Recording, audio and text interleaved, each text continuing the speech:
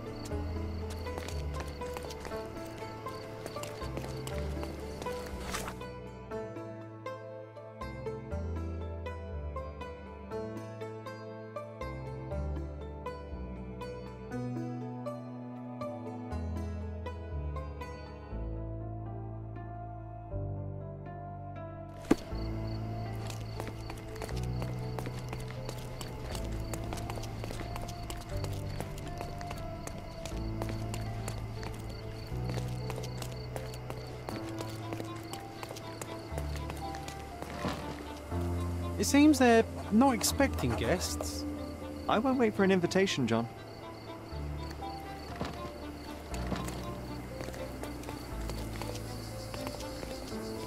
So what's the infiltration plan, Sherry? I'd go in through the rooftop if we had a harpoon gun. Are you able to help me? Oh, I'm sorry, but that's beyond my knowledge.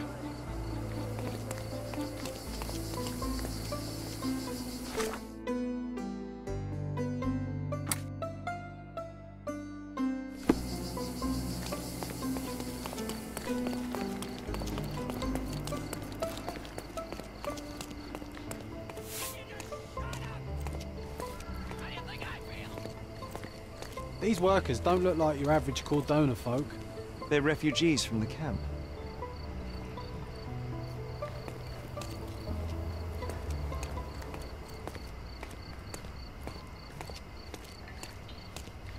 May I ask you something? Sorry, we don't see much here.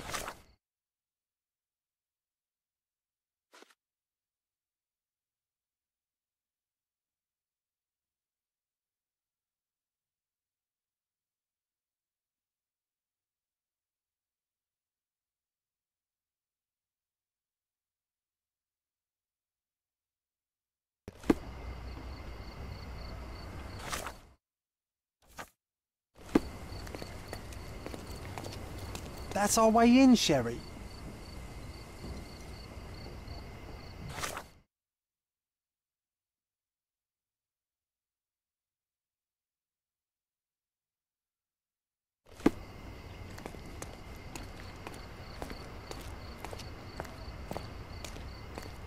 Hey, yo. This is private property. You lost something.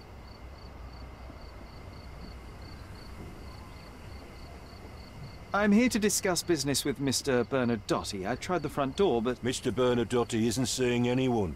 You have three seconds to walk away or you'll never walk again. Capito? it's in Mr. Bernadotti's best interest to... One...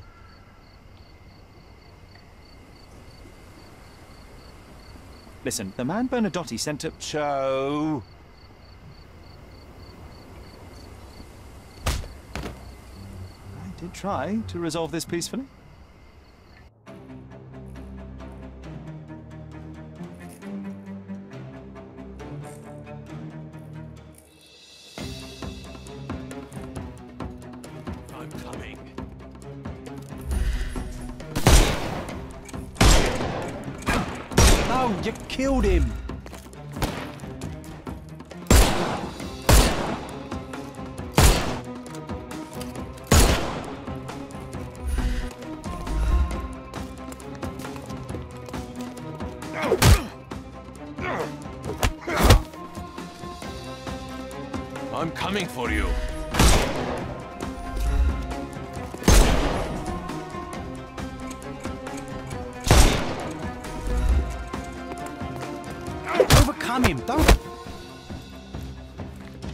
Couldn't miss the party.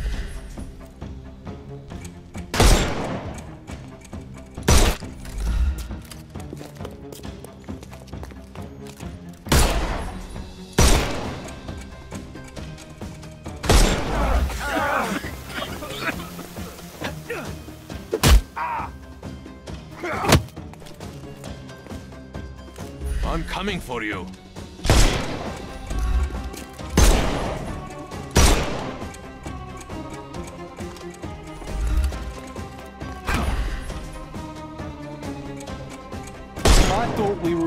Murder.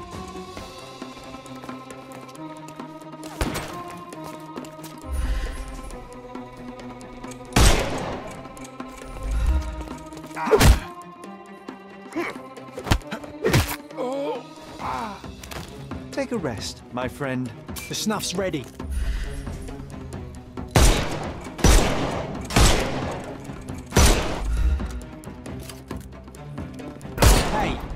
Could have kept him alive. Give him the pepper snuff.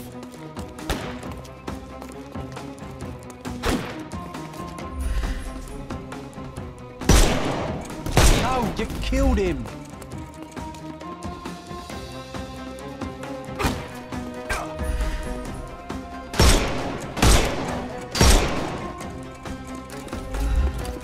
It won't work this way. I couldn't miss the party. Overcome the brute now. I thought we were against murder.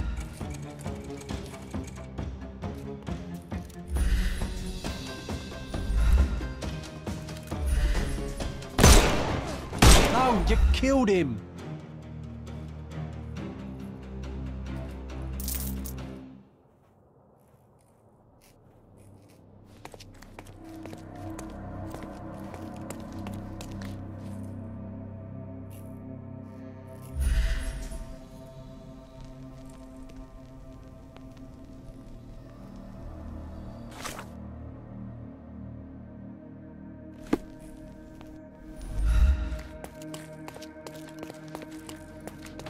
Sherry, look! This seems familiar.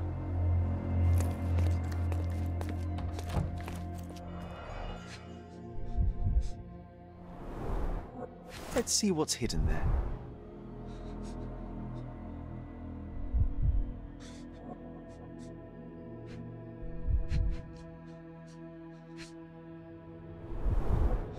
Vogel's stolen painting. Isn't it curious how it developed into a much more interesting case?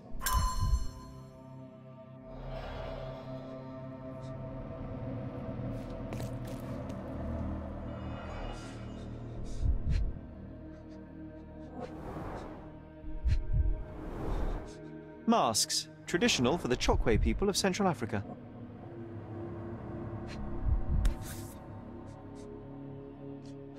A Dogon statue from West Africa. A century old at least.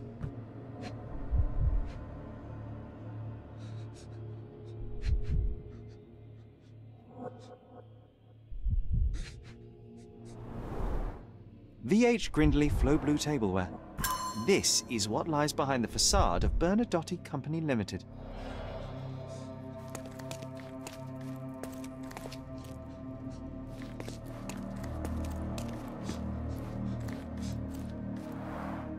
An amazing piece of culture. I imagine many collectors and museums would be interested in having it. No, sir. Don't hurt me. It's all right. I won't harm you. Like you didn't harm the folks on the way here? May I ask you something? Sorry, we don't see much here.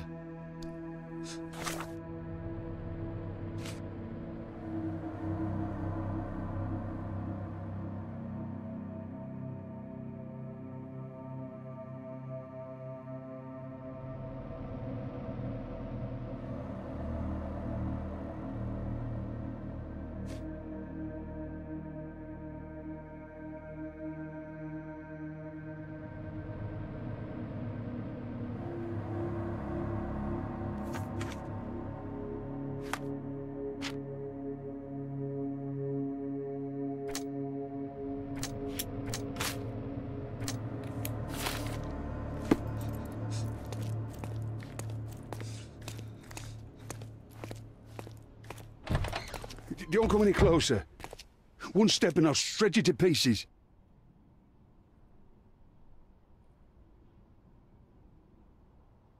Keep standing in my way and no one will ever see you again. Righto. Yes. Yep. Well, uh, excuse me, sir. I, I think I hear... I've got to... It's better I leave. Whoa. Oh, wow. That was as if somebody put my words in your mouth.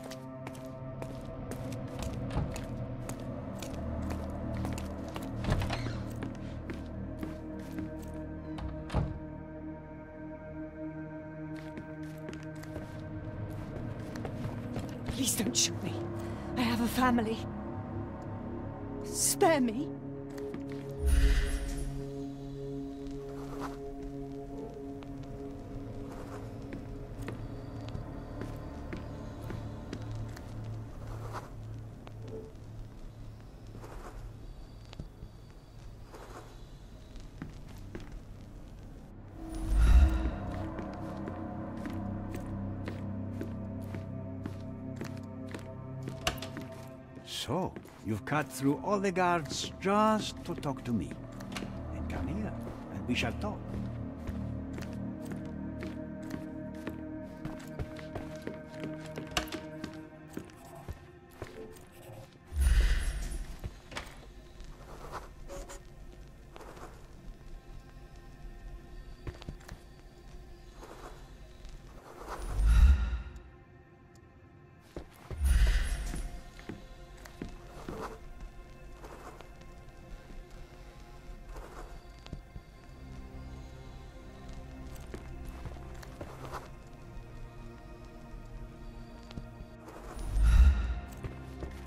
Whenever you're ready.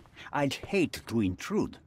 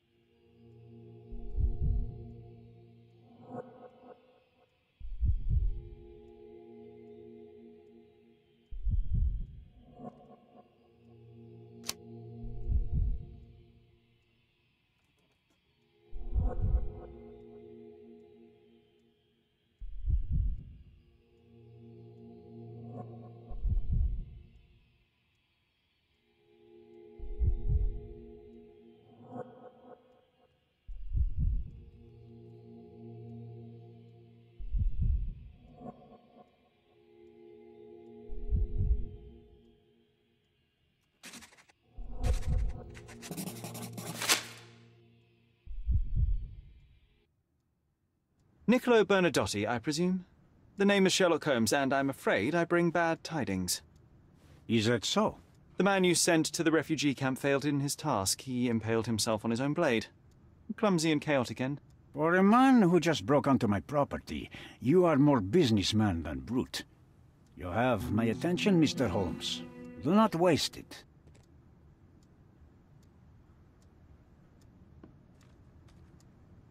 I was hired, privately, to investigate the recent theft of a painting from an art gallery. My investigation led me to a man from your organization, and thus, to you, Mr. Bernadotti. That is quite a stretch. Why would I need to steal a painting when I could buy any one I wanted? Interestingly enough, I spotted the stolen painting in your storeroom. I buy and sell a lot of things, Mr. Holmes. Unfortunately, if this is true, it is not the first time I have been sold stolen merchandise. I presume you were hired by the owner of the gallery. Tell them to contact me, and we'll sort out the situation. So, this painting is why you broke into my office. Mr. Bernadotti, do you know the name Boniface Mercurio? I do not. Mercurio was a local artist. Recently, a man broke into his apartment, ransacked the place, and killed him. The thief was looking for something. You are testing my patience, boy. In a moment, the connection will reveal itself. As I said, your man was found dead in the refugee camp. He was there to kidnap a woman, but the other refugees intervened to try and save her. The ensuing scuffle resulted in the man's accidental suicide. He sported the same tattoo as your men in this building. In fact, it also bears a resemblance to the one on your neck. Care to explain what business your man had with this woman? You have no idea what you are talking about. I can assure you this was no kidnapping. The refugees in the camp are on edge. What happened there is a tragic accident, one I am not responsible for. For what reason was your man there if not to abduct her? Why would I answer? You are yet to justify your presence in the slightest. So many words, so little action. When you barged into my office, Mr. Holmes, I got the impression you wanted to talk business. Now I see you had come just to talk. Tell me exactly what you want, or get out. It was necessary groundwork for what comes next. I have enough evidence to conclude that the gallery thief, the artist's killer, and the dead man in the camp are all the same person. Your time is almost up, Mr. Holmes. Before you draw your gun, there is one final detail I am yet to mention. The young woman your man was tasked to collect from the refugee camp had been defiled at a perverse masquerade party. That violation was captured in a photograph by Boniface Mercurio and used as a reference for his painting. The photo shows the attacker's face. Finally. That's why you're here, Mr. Holmes. You have the photograph.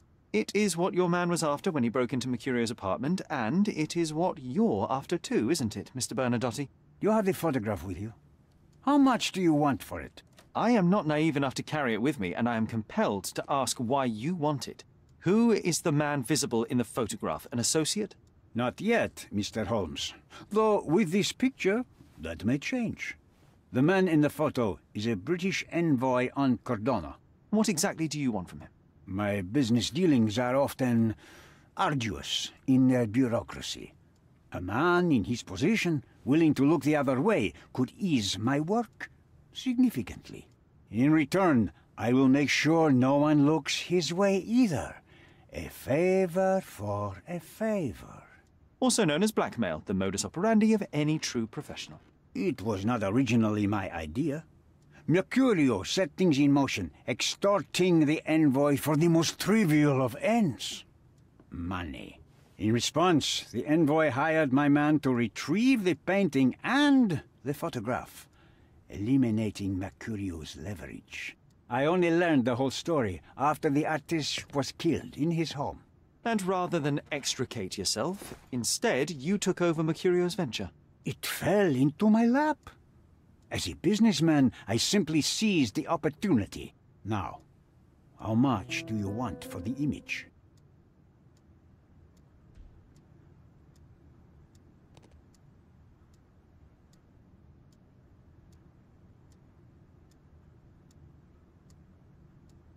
Why should I give you the photograph? Just name your price. What if my price were not money? You claim to have connections, Mr. Bernadotti. Perhaps you could improve conditions for the refugees. Give them a chance for a better life. Ha! I do have connections, Mr. Holmes, but help the whole camp? You are asking too much. I could, however, make arrangements for one person. The woman who was violated will have her own home, outside the camp, solely for her and her child. She will no longer be a refugee, but a princess. That I can guarantee. Is that really possible? It will be neither fast nor easy, but I can do it. She deserves it, don't you agree? And as for her abuser, he will serve me, as much as he deserves. So, in your plan, everybody will be given their due. Especially you, Mr. Bernadotti. Seems like a fair deal, no? I doubt anyone could offer you better. Simply give me the photograph, and the world becomes a better place. I give you my word. What makes you think you can decide what's best for these people? Such is the arrogance of British imperialism. I take your point.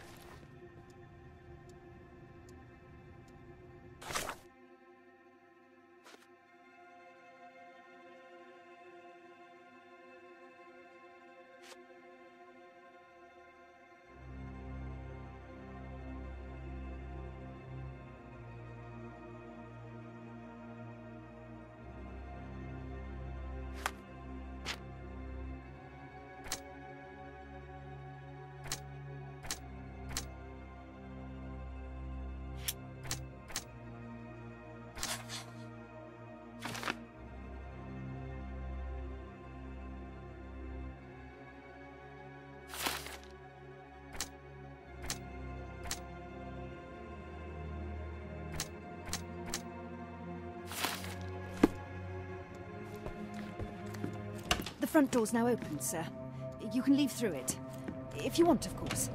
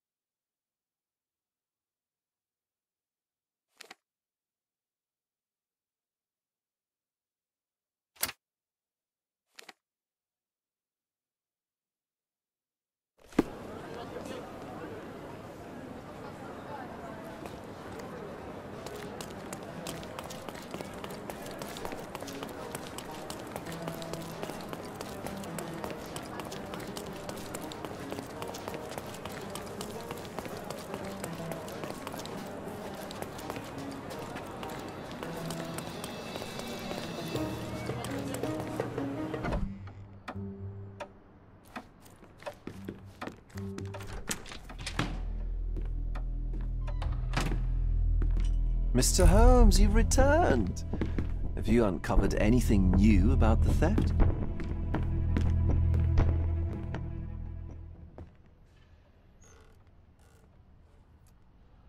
I've brought news, but not all of it will please you. Fill me in, Mr. Holmes. I won't shoot the messenger. I located the thief, but found him rather cold. He was tight-lipped about the painting, too. Huh, he's dead. How very droll, Mr. Holmes. One presumes you were not responsible. It was an accident at the refugee camp. He impaled himself on his own knife. Life is nothing if not cruel and capricious. I tracked down Boniface Mercurio. I presume he wasn't delighted about the situation. He was not having a good day on account of his murder. Killed in his own flat by the same person that stole his painting. Oh, sweet Mercurio. Perishing in the pursuit of his art. How apt. Oh, I will miss his exceptional sense of humor. What about the stolen painting? Have you located it?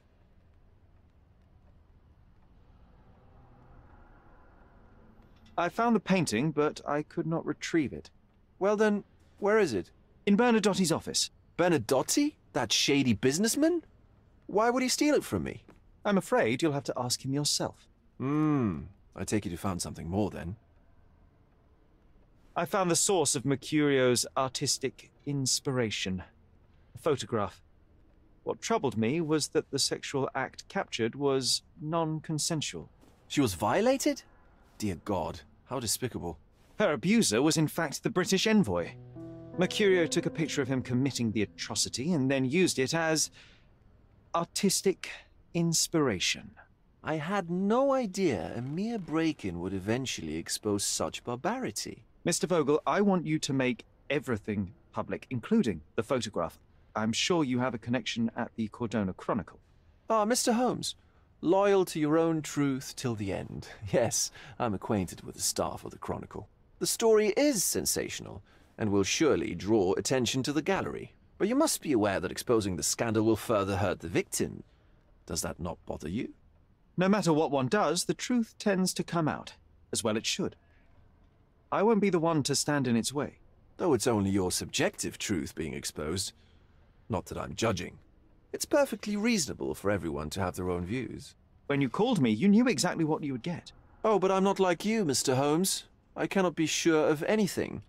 Regardless, I must thank you, for art's sake. Well, now that we've resolved all of our outstanding matters, I have a gift for you. I took the liberty of having it delivered to Stonewood Manor. I am told it belonged to your mother. And what exactly have you sent me? Frankly, I'm not sure how to answer that. I trust you'll know. Previously, you mentioned there may have been more to my mother's passing than consumption. It appears you were right. Oh dear. I'd hoped to be wrong. She was unstable, mentally unwell. She required sustained specialized treatment, but her madness persisted. I knew that Violet had disappeared from the public eye, but had no idea of her suffering. I cannot imagine what you're feeling. I'm fine. Thank you, Mr. Vogel. I am curious to see what you have procured.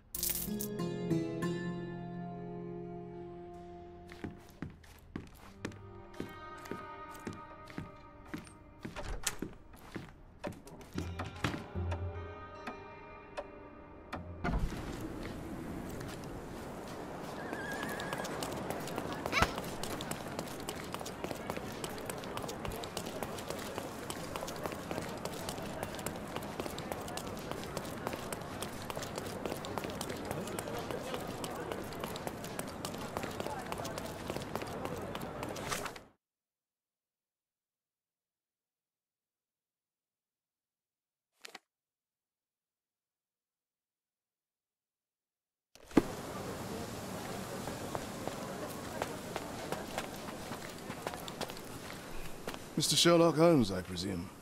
Correct. With whom do I have the pleasure? Emilio Estero. Happy to make your acquaintance. I am here on behalf of Mycroft, your brother. He's on his way to Cordona. In the meantime, he requests your assistance with a sensitive matter. My orders are to provide you with the details. You have my attention, Mr. Estevaux. Mark Ridley, the son of General Arthur Ridley, is being blackmailed. Suffice to say, the compromising material is of a delicate nature. The matter is of no small importance to the Crown, especially given the status quo on Cordona. What does Mycroft want me to do? Retrieve the blackmail material? No, sir, nothing of the sort. Mark Ridley is meeting the blackmailer atop the old city bridge tower. You shall observe from a distance, then establish the blackmailer's identity. Do not attempt to arrest him. We'll handle it from there. Saving the best for yourself? Fine. There's a cafe just over the bridge that provides a good vantage point. Please report to me when you are done. I'll be waiting for you here, and remember, discretion is of the essence.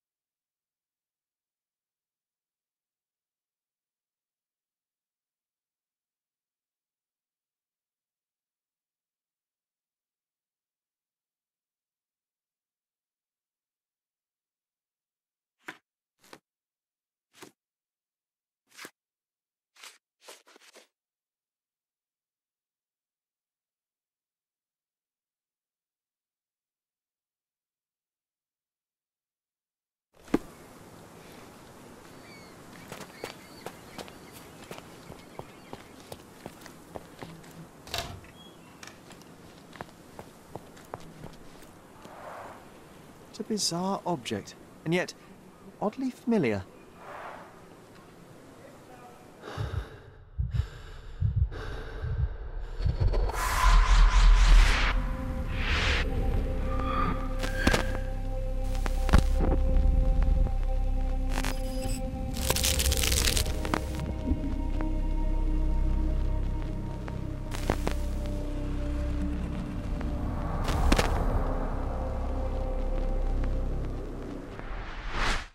Did you just remember something? Yes. A room full of curiosities and artifacts.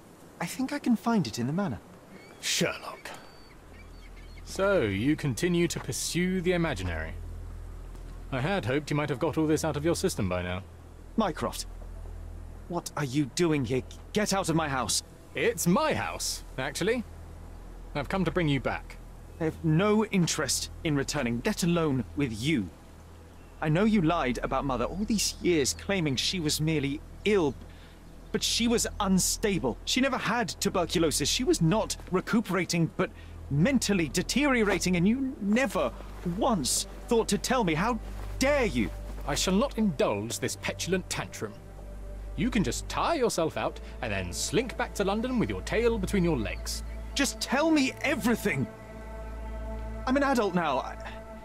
Show me the basic courtesy of an explanation. You know I will find out eventually. The goal was stability, and that's what you got. The right thing for everyone was to try and move on from her passing. The consequences of one's actions determines what is right or wrong. Yes, exactly. The ends justify the means. After leaving Cordona, Sherlock, you had a normal childhood. In London, I was able to support you, guide you, shape you into a fine and productive young man. You have so much potential, so much to offer society. But that's not the end. Now I found the truth, and it has shattered everything I knew about her, about you, and about myself. I feel unstable because of you. Your actions were not justified. Lying never is. Oh, grow up, Sherlock. It was a white lie which has as much use in the realm of the interpersonal as the international. It is time you come to accept that some things are bigger than yourself. Oh, you are full of it. You like to pretend you care about the big picture, but it's just an ego trip.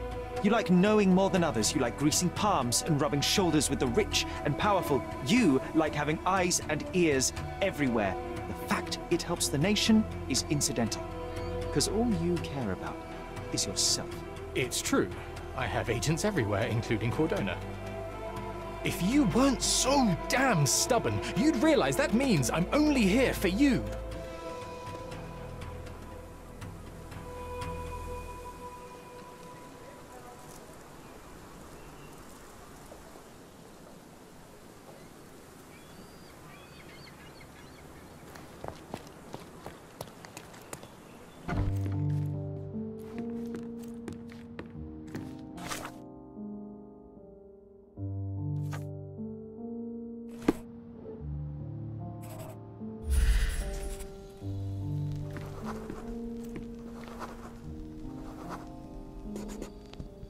I remember returning home with a pair of perfect sticks. We wanted to turn them into training swords. Oh, that's right. We stood there, frozen, staring at something huge in the main hall.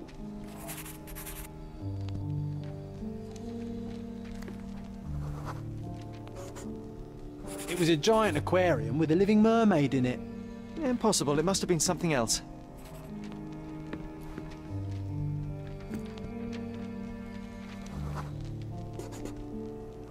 Oh, of course, that mortifying hoax presently taking up space in our front yard. Well, fine. Your memory's better than mine. But I'm sure we started examining it immediately. And someone else was around too.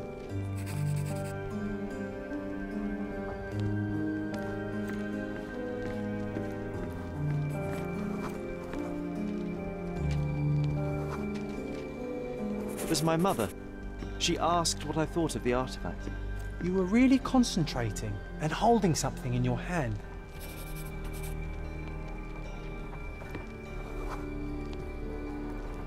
I inspected it with a magnifying glass and was able to confirm it was made of two different skeletons. The mermaid was a fake. And so it was time to smash the thing. Your mother took a hammer and. Slow down, John. That's not how it happened. I remember other people joined us.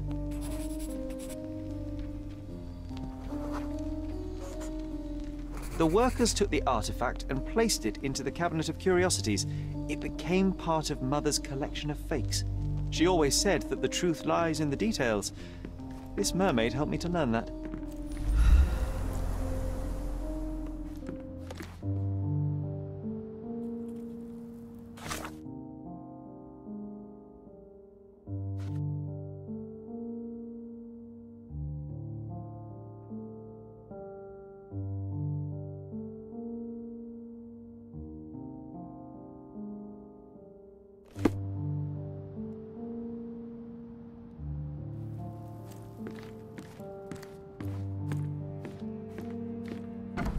Yes, my mother's studio. She was an authenticator, and this was her cabinet of Q. I never saw the point. Fakes I ever What does it matter if some artifact is real It was or a not? polar bear. It still exists. The white paint on the brown fur wasn't noticeable.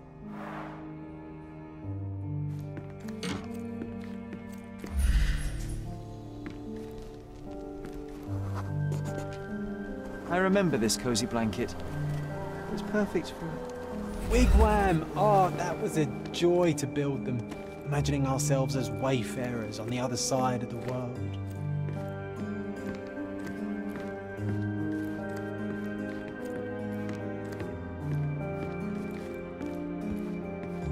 Oh, I remember these. We used them to spar together until Mycroft found out and forbade us from using real weapons.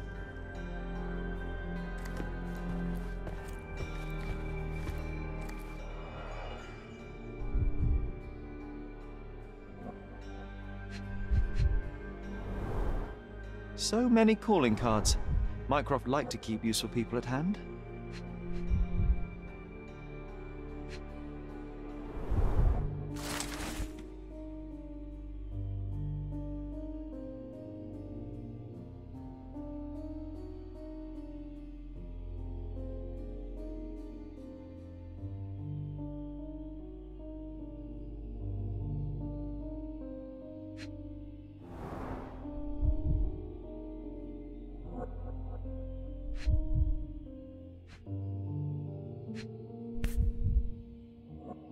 Reliable and driven.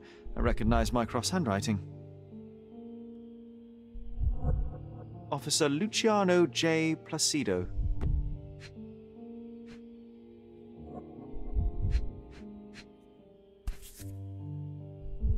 Carefully opened. Carefully opened. Dated 24th of April, 1869.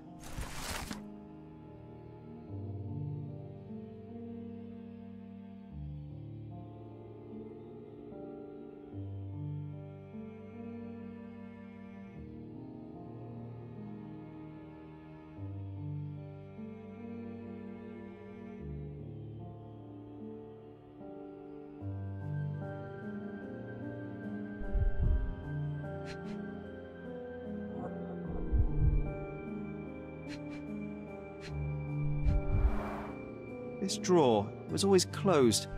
Only Mycroft knew how to open it. I remember we tried to break it open and spy on him, but alas, had no success. Maybe today's the day. Oh, Sherry.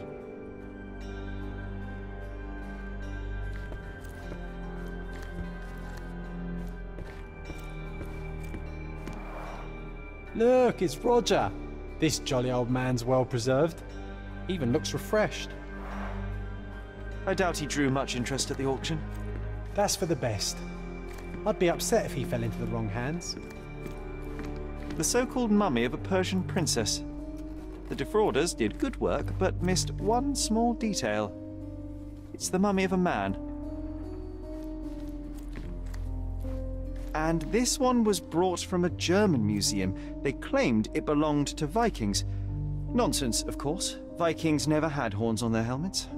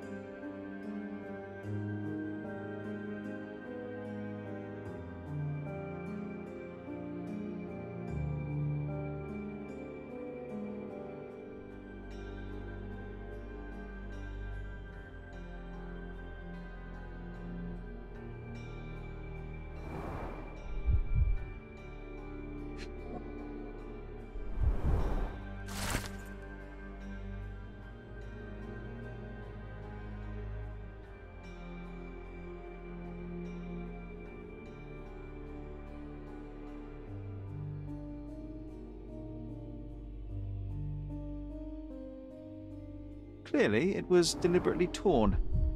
I wonder why someone would do that. The Tulpa Studies in Tibetan Mentalism.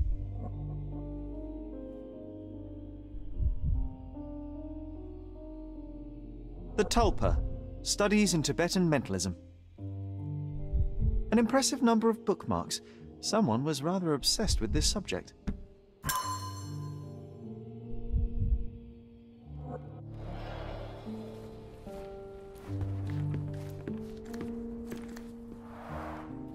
Full plate armour of Sir Robert Swanford.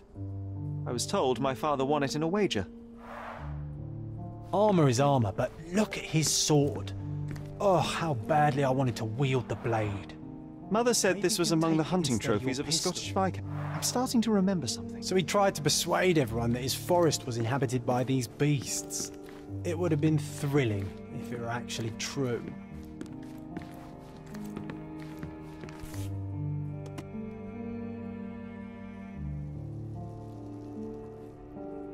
Another fake Holy Grail. Its owner claimed to be the heir of King Arthur. Scarcely believable. He also insisted a deadly rabbit was hunting him.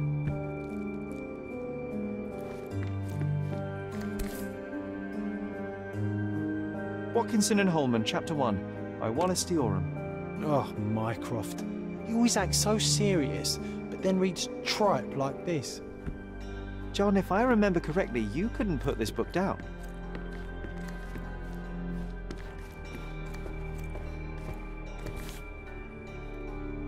Eighteen fifty-two, Bingley, West Yorkshire. This photo caused a lot of fuss. My mother spent some time to prove it was a fake.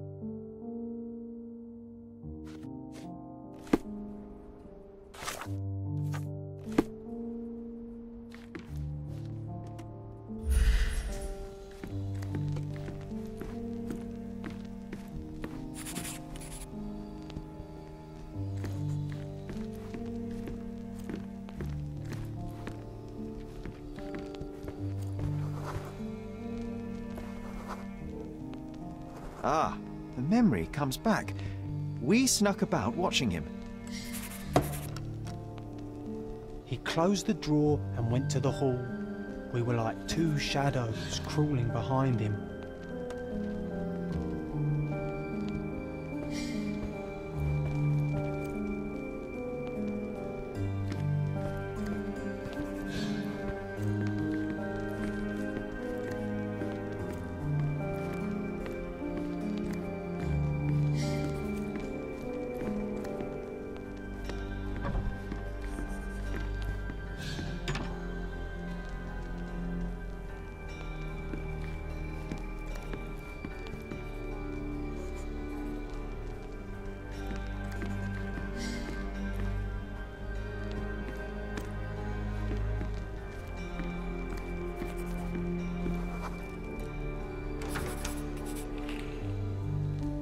He opened the door to the postman, and they exchanged documents.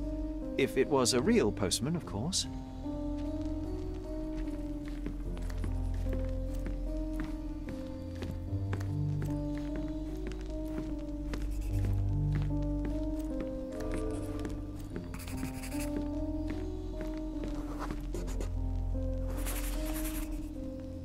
The painting on the wall was slightly at tilt. He stopped and straightened it.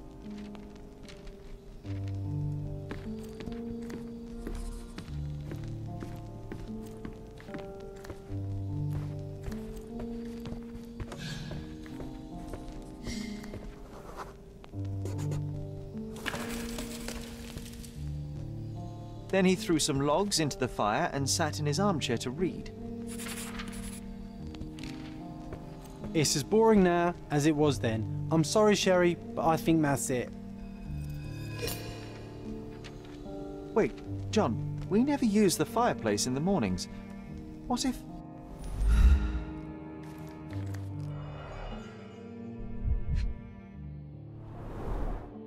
bit of juniper in the fireplace created a soothing atmosphere. It's the little things, isn't it? I think this is what we're looking for.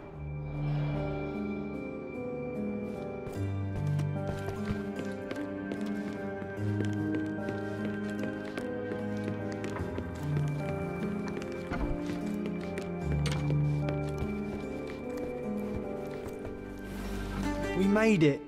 So what's there?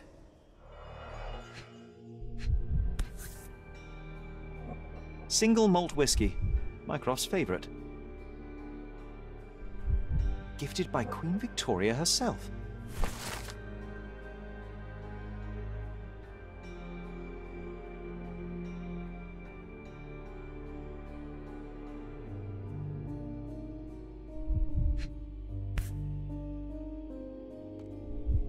Otto Richter. This one is rather thick. Mycroft can be truly dogged in his research.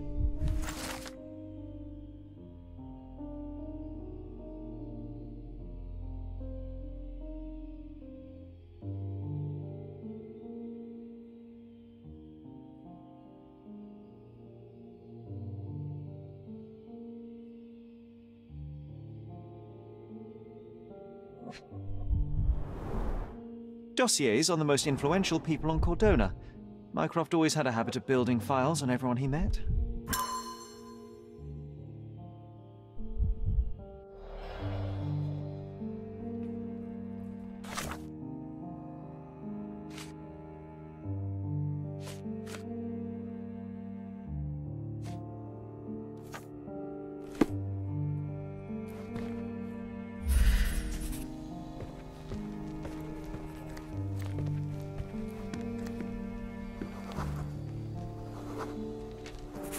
I used this ladder to look at the top shelf, right?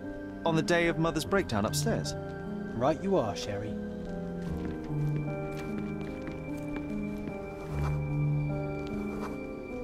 We heard a noise. I can't recall of exactly what. And we didn't have a great view from behind the statue.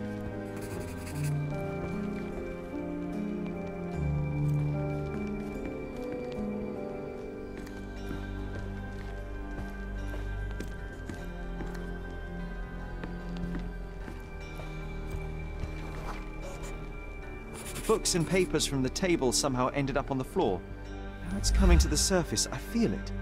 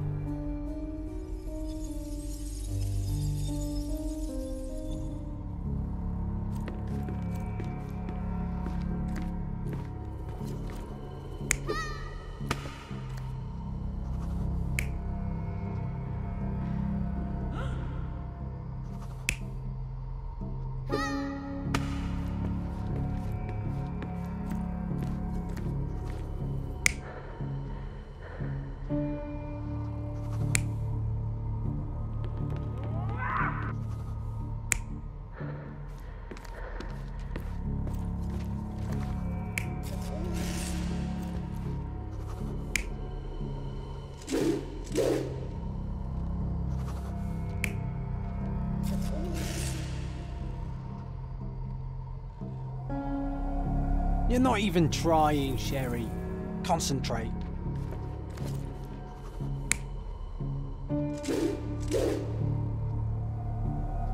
You're not even trying, Sherry. Concentrate.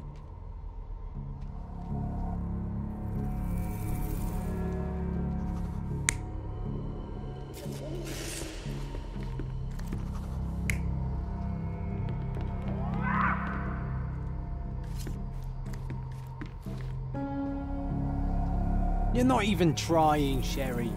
Concentrate.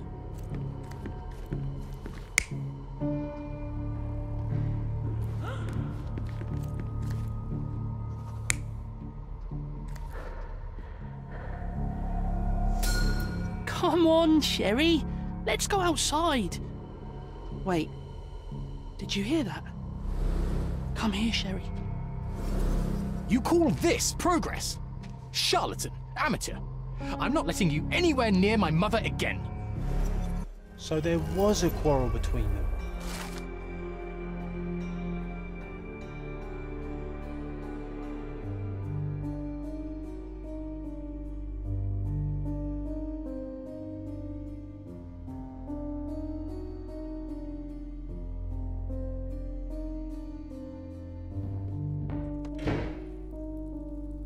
I heard a noise in the hall. Let's check it out.